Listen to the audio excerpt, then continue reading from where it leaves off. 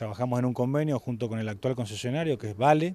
para hacer un proyecto de reingeniería de la, de, la mina realmente, porque hoy la mina como está planteada no es factible bajo las actuales condiciones de mercado, hacer un proyecto de reingeniería, llevarla a ella a una escala que sea más adecuada a lo que hoy el mercado resiste y buscar inversores para que a partir de ese punto desarrollen el proyecto. El proyecto de reingeniería continúa, esperamos tener los resultados ya para el mes de junio o julio.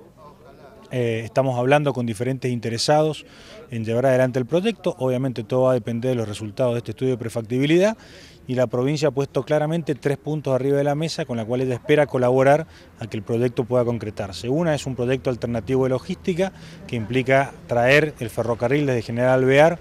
eh, hasta, hasta Patamora, por el cual darle una salida al producto de la mina de forma competitiva, digamos, de acuerdo a lo que es necesario,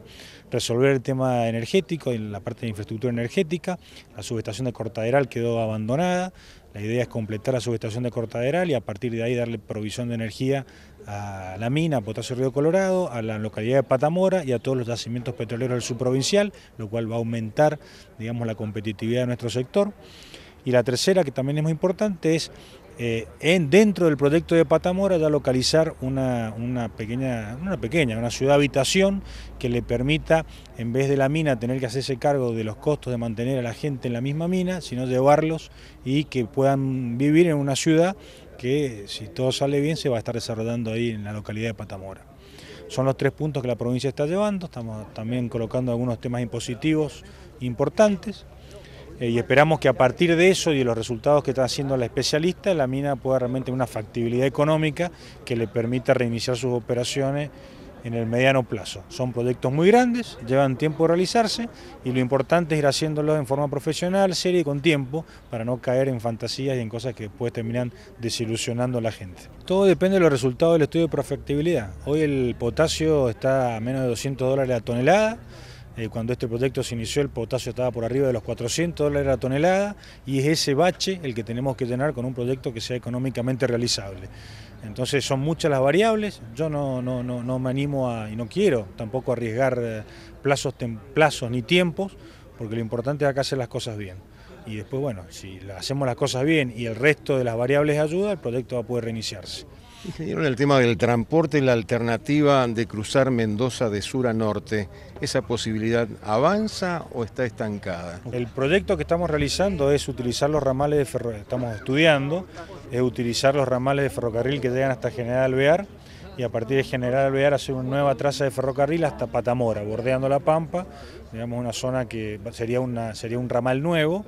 eh, porque los ramales viejos están con diferentes inconvenientes de todo tipo, nos llevaría más tiempo en resolver los problemas de los ramales viejos que hacer un ramal nuevo. Una inversión muy grande, estamos hablando de más de 600 millones de dólares, pero bueno, hay que ponerla en proporción a lo que estamos haciendo. O sea, el proyecto de Potasio Río Colorado en su versión más reducida sería un proyecto de 1.400.000 toneladas año y lo que estamos discutiendo hoy día con los potenciales interesados del proyecto es cuáles serían los valores competitivos de transporte para saber si a partir de esos valores podemos financiar un proyecto de esta naturaleza. Hay esperanza, estamos involucrando autoridades nacionales, obviamente este es un proyecto de carácter nacional, ni siquiera es provincial, es un proyecto de carácter nacional, es infraestructura para toda la Argentina